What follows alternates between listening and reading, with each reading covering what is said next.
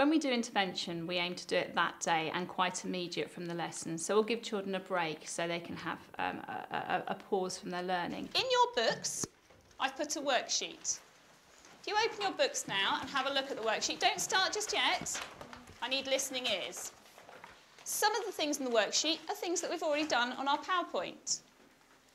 But other things are slightly different, and I need you to spend some time thinking but this is for you now to show me what you can do independently and show your understanding of your six times tables. So you can now start your activity in your books. Giving the children an independent task allows them to show me they have a full understanding slightly later in the day.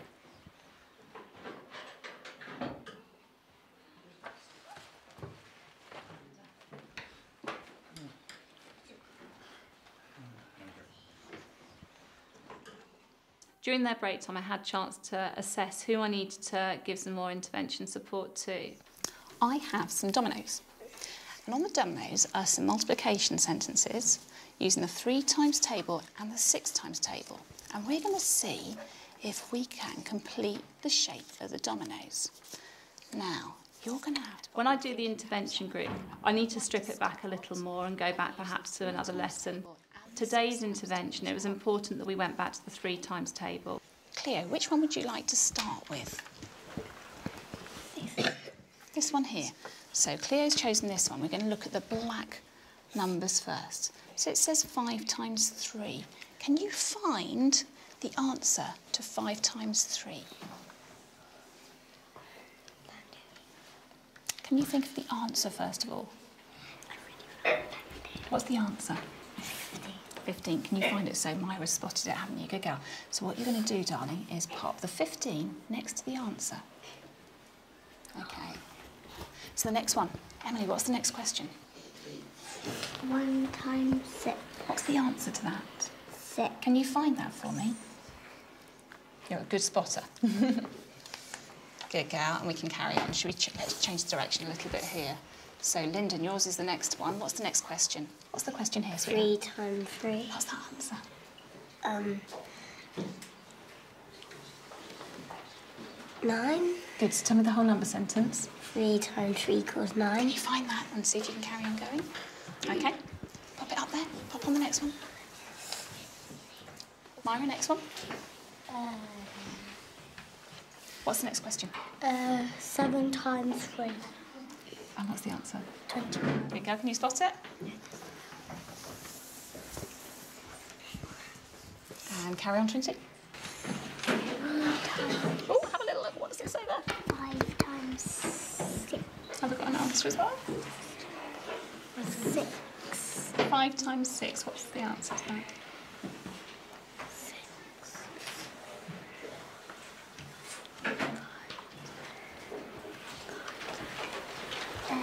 Good girls, tell me the whole number sentence. Five times six equals five. Good girl, can you find that for me? What's the next question? Six times six. What's your answer there you're looking for?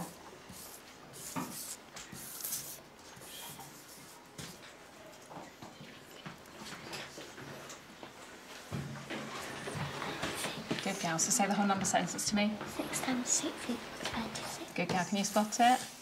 Good job. Carry on, Emily. What's the next question? Eight times three.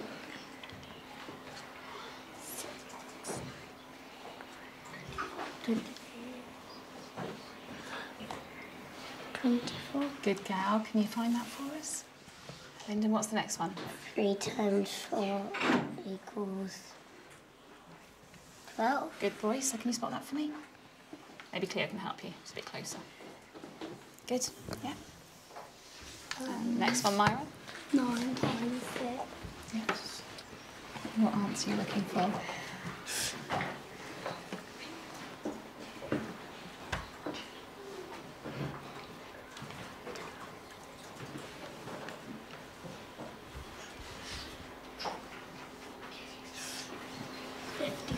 Girl. Can you spot that? You spotted it already, didn't you? Well done. Pop it in. And Trinity, next one for me. Six times three equals eighteen. Good girl. And Emily?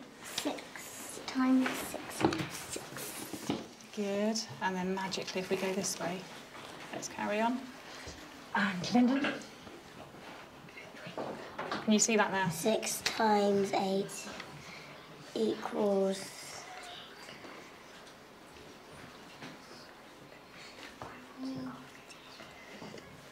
Forty-eight. Yes, good boy. Do you want to pop that in place for us?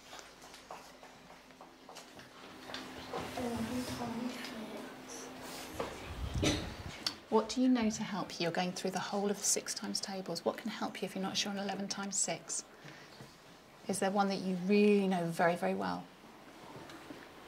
Ten times Good gal. What is 10 times six? Sixty. So what's 11 times six?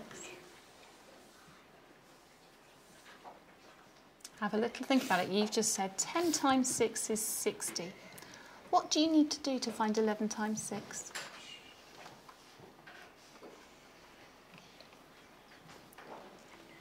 What are we doing? We found 10 times 6.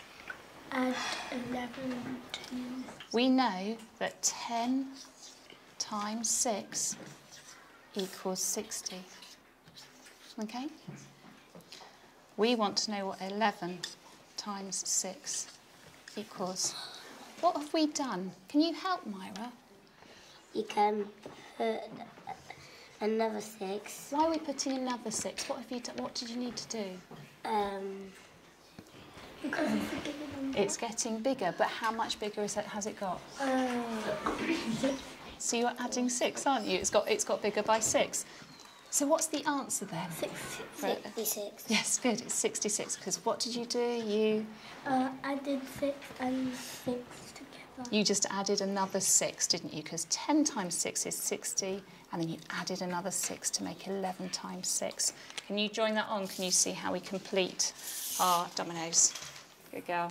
When I did the intervention, it's really important that I had resources that were fitting to what I needed to strip back to give the children a better understanding.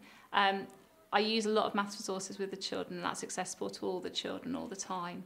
So for the children that I worked with initially, I wanted to just strip back from the six times table going back to the three times table, make sure they had that link before we then moved forward. Can you show me one group of monsters' limbs using the counters? Really quickly.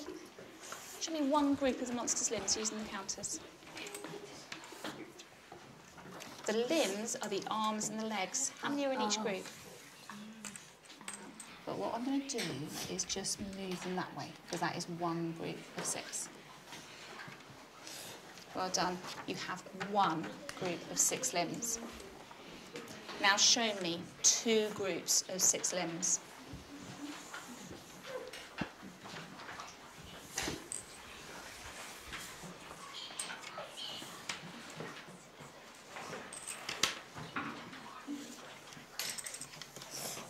How many do you have there? Use your six times tables to help you with your grouping. Oh, I think you're counting up lots of things. How many groups have you got there? Two. Okay, so two groups of six.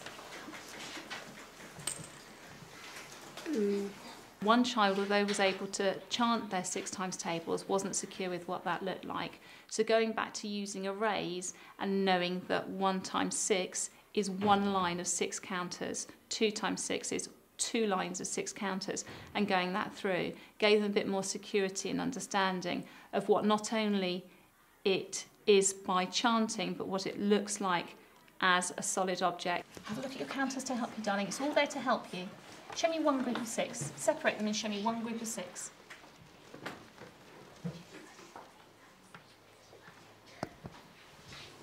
Good boy. How many's there? Six. How many's there? Six. How many have you got in total in your two groups? Um, twelve. Good boy. What's two groups of six? Twelve. Tell me that as a multiple. Two groups of six uh, equals twelve. Good. Two times six equals 12. And then we'd move on to start making those arrays and writing down the number sentences as well. Let's use these counters to help us start our rolling numbers again. Okay, so let's use our rolling numbers to help us. Can I see your hands for me? Dear Megan, let's go let me see your fingers with the sixes. Yeah. Six, Twelve. twelve, 18. Children that struggled, by stripping it all back, we managed to fill holes quite quickly. 48, 54. And things that they may have found difficult earlier on, they started making sense to them because we practiced again and again and really worked on their fluency. We can do our sevens too. What does, using your rolling numbers, what does two times six mean? 12. Good boy. Tell me as a number sentence. 2 times 6 equals 12. High five. Good boy. Pop your counters into the middle for me. All the children successfully now use all resources, making sure all children are being challenged and all children were de deepening and mastering their maths.